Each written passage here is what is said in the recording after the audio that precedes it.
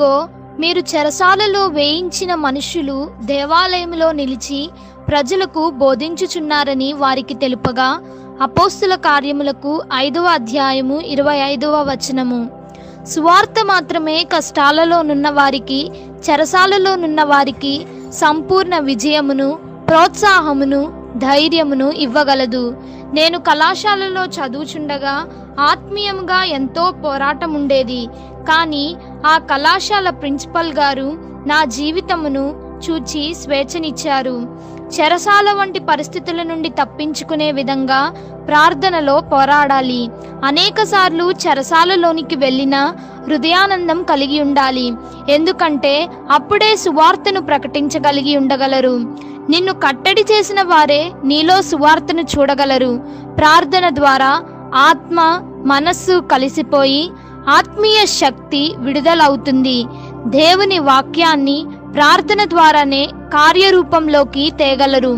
క్రిందికి లాగే లోకాశలు శరీరాశలు స్వార్థము తిరుగుబాటు మున్నగు వాటిని ప్రార్థన ద్వారానే జయించగలరు. ప్రార్థన ద్వారా భక్తుల ఆత్మ దేవుని ఆత్మతో ఐక్యమవుతుంది. ఏలియా ప్రార్థనలో ఎంతగా బలపడ్డాడంటే అగ్ని దిగువచ్చునుగాక అనగానే ఆకాశం నుండి అగ్ని దిగి వచ్చింది. అతనిలో స్వార్థము తీసివేయబడి దేవునితో నింపబడ్డాడు. మీరు ప్రార్థన ద్వారా విశ్వాసాన్ని సాధకం చేసుకునుట వలన స్వస్థత సేవ సువార్త సేవ చేయగలరు. ప్రార్థన అను అత్యున్నత విద్యను అభ్యసించట వలన ఆత్మీయ వ్యక్తిత్వము ఉన్నత మెట్టిలోనికి వృద్ధి చెందుతుంది.